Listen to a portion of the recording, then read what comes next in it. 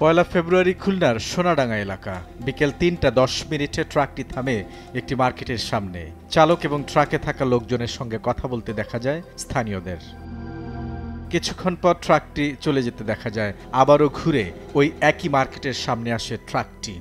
এক ব্যবসায়ীর তিনশো পঞ্চান্নটি ব্যাটারি খুলনা থেকে মুন্সীগঞ্জের সিরাজদিখানে পৌঁছে দিতে পনেরো হাজার টাকা ভাড়ায় রাজি হন ট্রাক চালক। রাত আটটার পর ট্রাকটিতে ব্যাটারি তুলতে দেখা যায়। লোড শেষে ট্রাকটি ছেড়ে আসে গন্তব্যের উদ্দেশ্যে।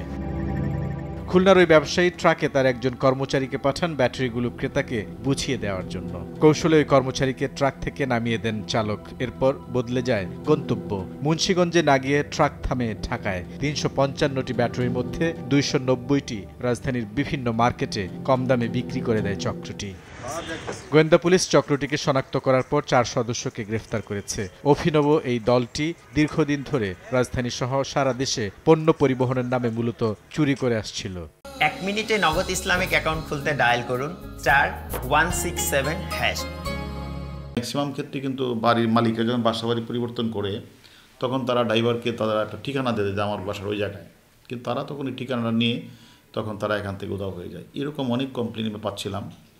এবং তারা অলরেডি স্বীকার করেছেন যে তারা বিভিন্ন জায়গায় কাজগুলি করেছেন। আমরা রিমান্ডে এনে তারা কতগুলি বাসা বা কোথায় কোথায় এই ধরনের কাজ করেছে সেটা আমরা বের করব। পুলিশ বলছে মালিকের কাছ থেকে পণ্য বুঝে নিয়ে গন্তব্যে পৌঁছে না দিয়ে তারা বিক্রি করে দেয় পরিবর্তন করে ফেলে গাড়ির রং ও নম্বর প্লেট।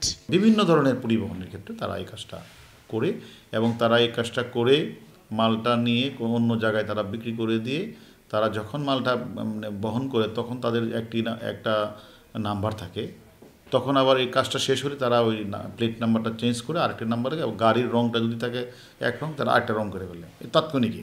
এ চক্র থেকে রক্ষা পেতে গাড়ি ঠিক করার সময় যথাযথভাবে যাচাই ও গাড়িতে সার্বক্ষণিক নিজস্ব লোক রাখার পরামর্শ পুলিশের।